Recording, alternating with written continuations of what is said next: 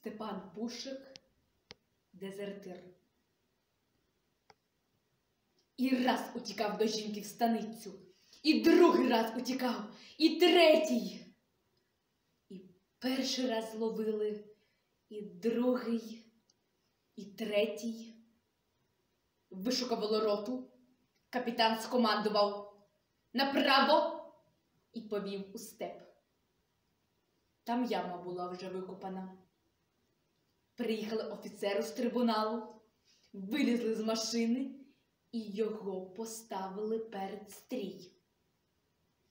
Виступали бійці, підготовлені комісаром, та й говорили, що він зрадник, що боягуз, що падлюка.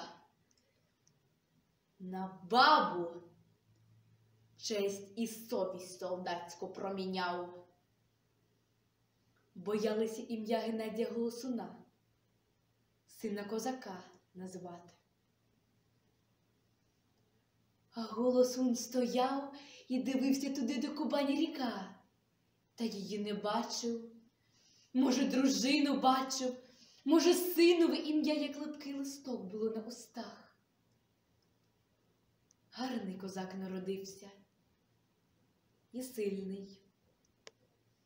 Боявся голосунь лишені ворога, а перед своїм стояти не боявся. Офіцер з трибуналу зачитав вирок, а він не вірив, що його життя може вміститися на тому малому білому листочку. Тремтів голоском роти, ніби він тим голосом, гострим і студеним, думав заморозити його живого і заткати ним жерло німецької гармати. Засуджений чекав теплих очей, та очі ховалися, як сонце в холодні хмари. Підійшов комроти, зірвав йому з очей погони, а тоді обмороженим голосом скомандував. Перший взвод на вогневий рубіж. Заклацали замки, заганяли кулі в цівки гвинтівок. Голосун раптом побачив офіцерові очі, що зробилися сивими крижинками, а обличчя білішим від паперу, на якому був надрукований вирок. Взвод! Слухай мою команду!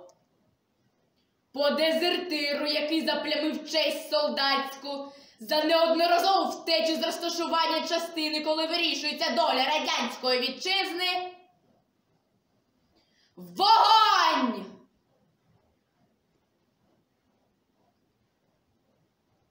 Упав біля ями.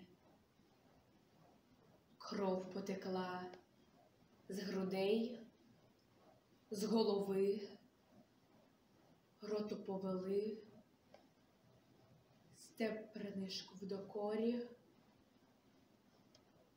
Все ж своя то людина була. З Кубані, а не з Рейну. Присипали землею, а через дві години привіз ясківець і сказав. Ожив, ожив, сидить у калюжі крові. Кинулися бігти туди, а офіцер з трибуналу швидше доїхав машиною, вихопив пістолет і вистрелив йому в голову. Судити будуть того з трибуналу. Не мав права вдруге вбивати.